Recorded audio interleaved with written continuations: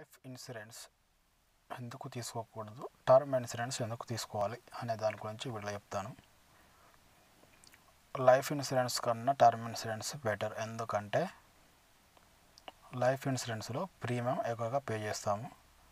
ఆ దానిలో ఏమవుతుందంటే సగమేమో మనకు ఇన్సూరెన్స్ కవరేజ్ కిందకి వెళ్ళిపోతుంది.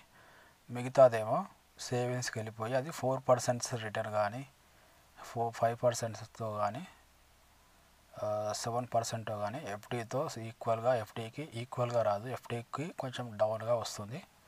దాన్ని ఇంట్రెస్ట్ అన్నారు బోనస్ అంటారు. అది ఎవ్రీ ఇయర్ ఎల్ఐసి ఇండియా వాళ్ళ వెబ్సైట్లో ప్రకటిస్తుంది. అప్పుడు మీరు బోనస్ చెక్ చేసుకోవాల్సి ఉంటుంది. అది. దాంట్లో మీరు చేసే అమౌంట్లో మీకు ఇన్సూరెన్స్ కవరేజ్కి పోగా మిగతాది సగం అనేది తక్కువ మీకు రిటర్న్తో వస్తుందన్నమాట. అదే మీరు టర్మ్ పాలసీ తీసుకుంటే మీరు ఇన్సూరెన్స్ కవరేజ్కి పే చేసేది చాలా తక్కువగా ఎంత తక్కువ అంటే టెన్ పర్సెంట్ ఉంటుంది అనుకుంటా యాక్చువల్లీ. అది కంపారిజన్ అంటే జస్ట్ జనరల్ ఐడియా కాబట్టి చెప్తున్నాను. చాలా తక్కువగా ఉంటుంది. దానిలో ఏంటంటే మీకు ఎండ్ అయిపోతే మీకు ఏమీ రిటర్న్ అయినది ఏమీ రాదు. జస్ట్ ఇన్సూరెన్స్ రిస్క్ కవరేజ్ మాత్రమే. కాకపోతే మీకు తక్కువగా వస్తుంది ఇన్సూరెన్స్కి. మిగతాది దాన్ని మీరు ఏఎల్ఎస్ఎస్ స్కీమ్ కానీ మ్యూచువల్ ఫండ్స్లో ఇన్వెస్ట్ చేస్తే మీకు హైయెస్ట్ రిటర్న్స్ వస్తాయి.